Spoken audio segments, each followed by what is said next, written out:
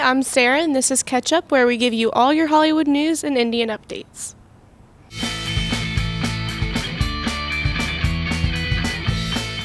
On today's show, you'll find out what goes on in Trish Duber's high school art class and see some of the artistic abilities of today's students. You'll also find out what movies you shouldn't miss and can you say please pay promptly four times fast? All that coming up next.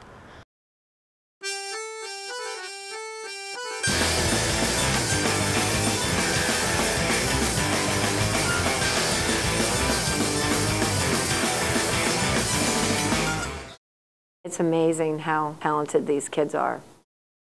Hi, my name is Trish Stuber and I'm an art teacher at Norwood High School. And I teach Art 1, Art 2, Basic Drawing, and Advanced Placement Studio Art. This is my second year at Norwood High School. Um, I was a police officer for um, almost 15 years and a juvenile probation officer, and I was on the Hamilton County SWAT team for eight years. I went back and got my master's at Xavier University because this is what I've always wanted to do. I really believe I'm a much better teacher at this point in my life than I would have been um, without all the previous life experiences that I've had in law enforcement. My favorite thing about teaching, um, clearly, it is the interaction with the students. I think I learn as much from them as they learn from me. I absolutely love being in the classroom interacting on a day-to-day basis with the students. Um, even when you know they're, they're struggling, I like to be the one that is there for them, to offer them encouragement, to inspire them. I like to create an environment, a safe environment, um, a, a nice place, a happy place where they can come and create art. I'm Jacob Brooks.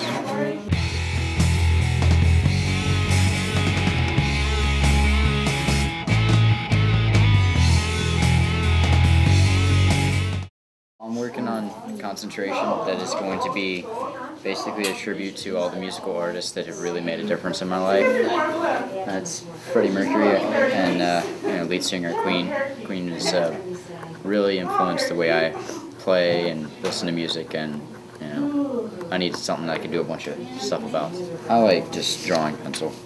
Watercolor's fun, but it's a pain sometimes the most part, I just do pencil and charcoal is cool too sometimes. These are two people from our class, well, from our school, and they were modeling, and I just liked the way they were. They came off all the pages, and I added color to everything because Ms. Duber is always color. I think it's important for students to learn art because, like I said before, this is one classroom where every single student can find success you have to solve problems. And, and honestly, that's what students need to be to be successful in the world. They need to be creative problem solvers. Um, to realize that sometimes in life you have to do things that you don't want to do when it's not fun and when it's not easy and when it's not convenient. It just pushes them to kind of climb outside the box that they're in or stretch the rubber band a little bit to grow and to problem solve and to make positive decisions. My name is Eric Atkins.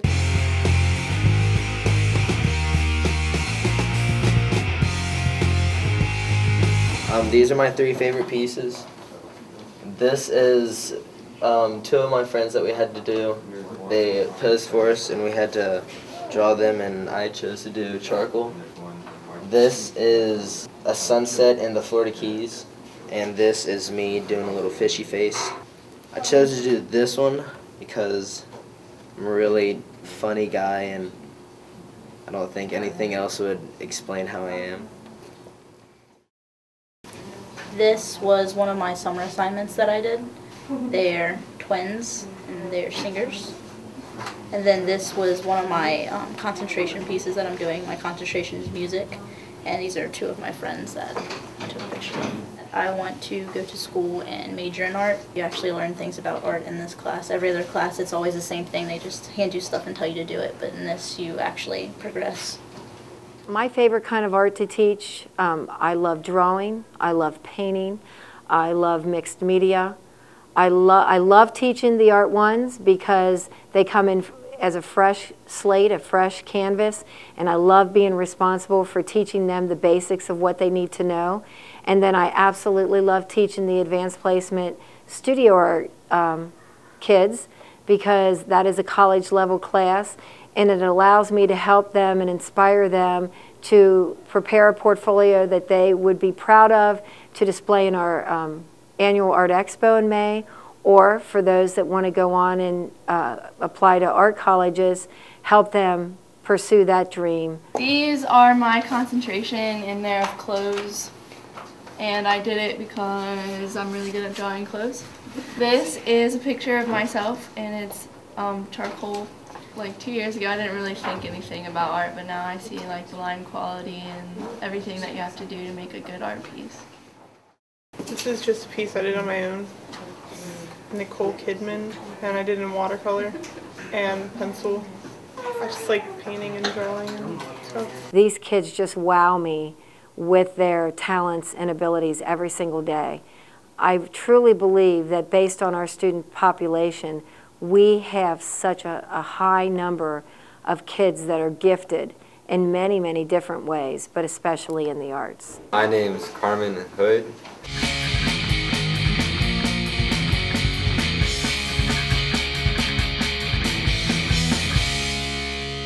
That's my friend Jacob, and that's another piece like a vampire like attacking someone. And that one's like supposed to be a self-portrait, but doesn't look like me at all. My concentration are just songs that I like or have influenced me. These pieces here, this is the Blink-182 song, Rise Against, and another blank.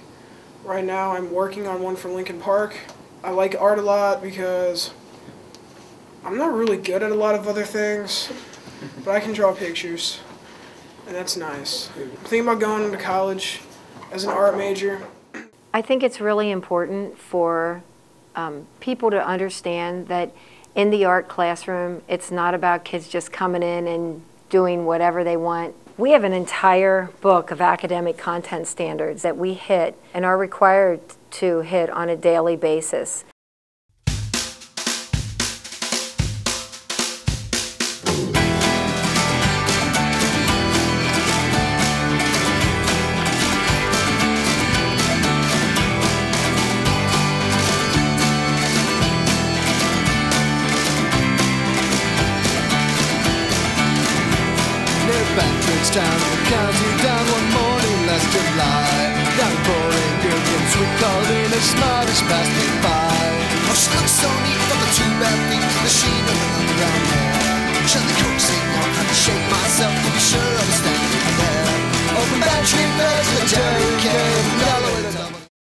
With the discipline-based art education, you know, this is the basis of what we do and how we teach art and why we do it. And basically, art education is based on four different components, and those components are art production and art history, art criticism and analysis, and aesthetic awareness. And of course, the art production is they actually learn the actual process of making art. And that is very important to get that tactile thing happening, the eye-hand coordination. And then the art history piece is that um, when the students learn about the rich heritage of the past, that can serve as an inspiration to them as they learn about art in today's date. Um, they are gradually introduced to more complex concepts and they'll learn about principles and elements of design and how to integrate those into their actual works that they're working on. The art criticism and analysis piece is where they actually learn how to talk about and critique their own work and the work of others and to do it in a respectful manner using the language of art. And they learn the art vocabulary. And then the last piece is the aesthetic awareness. And that is where you would call it the philosophy of art, where the student really gets to form their opinion based on what they believe what is art.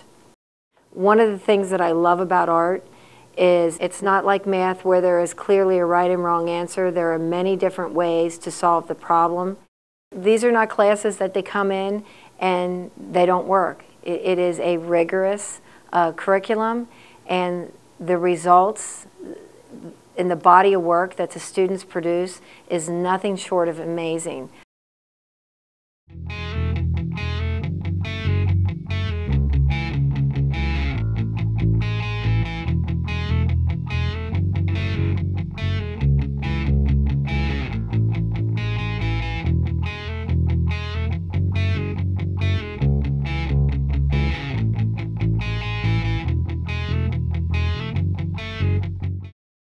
Our annual art expo is coming up. It'll be Sunday, May 3rd um, at Norwood High School and Norwood Middle School from 12 to 4 on Sunday, May 3rd. And the talent that is showcased musically and artistically is phenomenal and we would love everybody in the community to come out and to support our students in their artistic endeavors.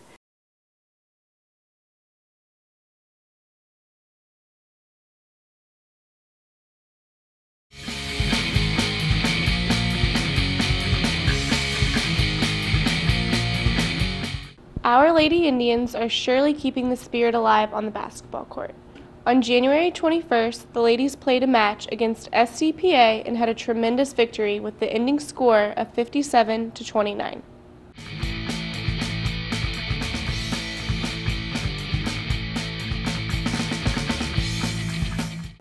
Although the Indians played a competitive game on January 24th against the Mount Healthy Eagles, they fell short with the ending score being 40 to 30.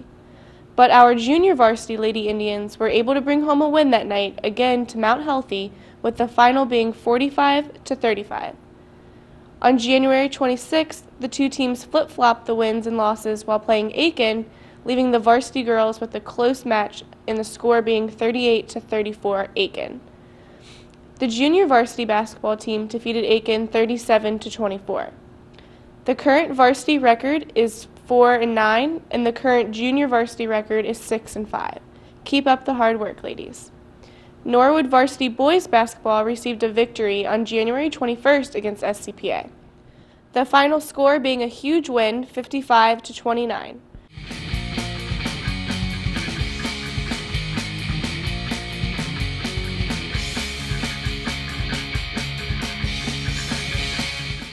On the 24th, they had a tougher time playing the Ross Rams. They lost with a close score being 57 to 49.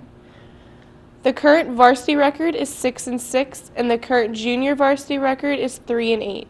Our Indian wrestlers competed well at Bellbrook Invitational. Tyler Alsip was named most outstanding wrestler and was the winner of his 125 weight class. Victor Dornetti finished third place and Connor Majellic finished fourth place at Bellbrook.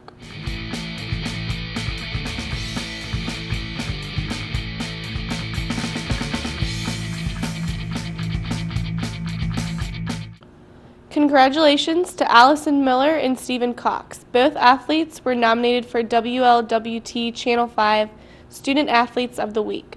Senior Allison has a 4.6 GPA and plays soccer, basketball, and softball. She is the captain for the teams and is also a member of the Anthony Munoz Foundation and the National Honor Society.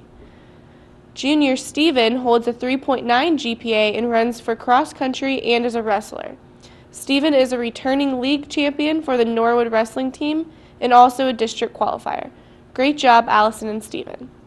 Congratulations to Andy Wilms for being named the Anthony Munoz Division III Defensive Lineman of the Year. This is a great accomplishment, and Andy will be honored on February 17th at the Hilton in a special ceremony that will include many of Cincinnati's finest players.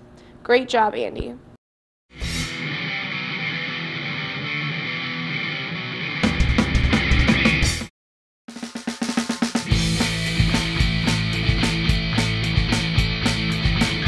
Which breakfast cereal was Sunny the Cuckoo Bird cuckoo for? Cocoa Puffs? Trix. Cocoa Puffs.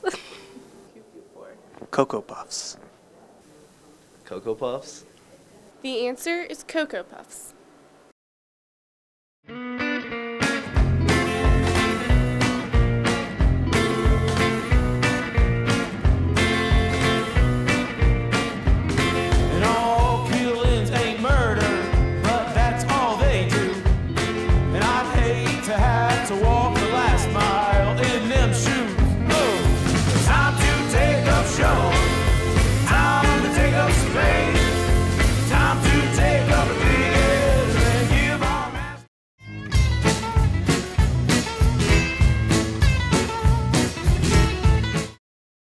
Month of February has tons of new CD releases that many of you have anticipated for a while now, and they are finally here.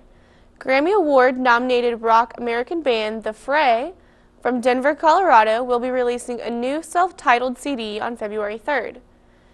A young singer, Lily Allen, has a new hit that won't be in stores until February 9th, but is already receiving great reviews of the album, It's Not You, It's Me. Get ready for the biggest block party of the year. Missy Elliott is back. Listen to her brand new single, Best Best. This track is off her upcoming album, Block Party, which is in stores and online February 9th.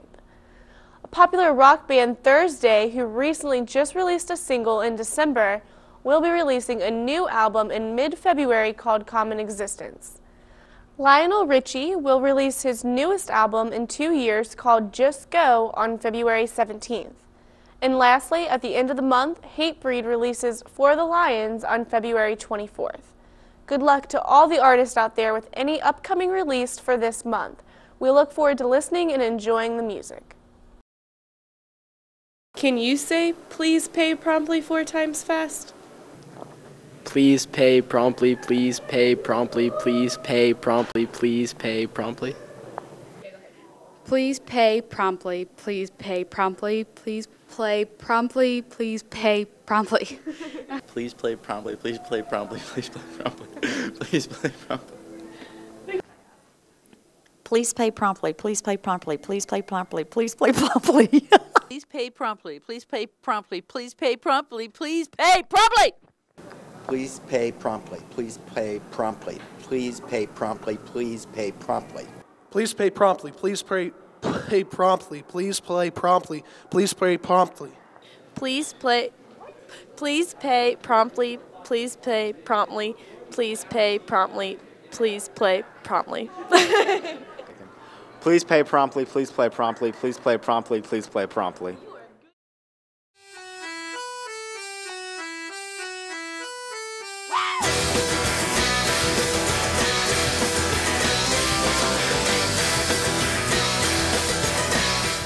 This February, make sure you have your movie date for Valentine's Day because you don't want to miss any of these great new releases. What does a girl do when her purchasing sprees have put her into debt? Get a job as a financial advice columnist, of course. Confessions of a Shopaholic starring Isla Fisher is scheduled to hit the big screen on February 13th. When Isla, who plays Rebecca in the film, becomes an advice columnist at a financial magazine published by the same company as her favorite fashion mag- magazine, her fresh approach strikes a chord with readers and she quickly becomes the toast of the town. While Rebecca learns the ups and downs of business and her love life, she gradually realize, realizes her priorities in life. Jason Voorhees returns to theaters with this Platinum Dunes remake to once again haunt the cursed campgrounds of Crystal Lake. Friday the 13th, starring actor Jared Padalecki and actress Danielle Panabaker, hits the theaters on, of course, February 13th. Tyler Perry transitions another one of his hit plays to the big screen with this adaptation of Madea Goes to Jail. The successful filmmaker stars once again as the mischief prone older woman who exploits this time lead her in jail, where she befriends and reforms a prostitute named Candy, played by Keshia Knight Pulliam, from The Cosby Show. This Lionsgate comedy film will be in the theaters on February 20th. Popular American boy band the Jonas Brothers are getting their first spot in theaters on February 27th with the movie Jonas Brothers The 3D Concert Experience. The brothers star in a high energy Walt Disney Picture documentary feature film event from director Bruce Hendricks, which blends excerpts from the brothers' Red Hot Burning Up concert tour. It also includes guest performances by country singer Taylor Swift, plus a never before heard song Love is on its way. This film will be sure to have all their fans excited to see the life of Kevin, Joe, and Nick behind the scenes. Don't forget to see these new motion pictures coming soon to a theater near you.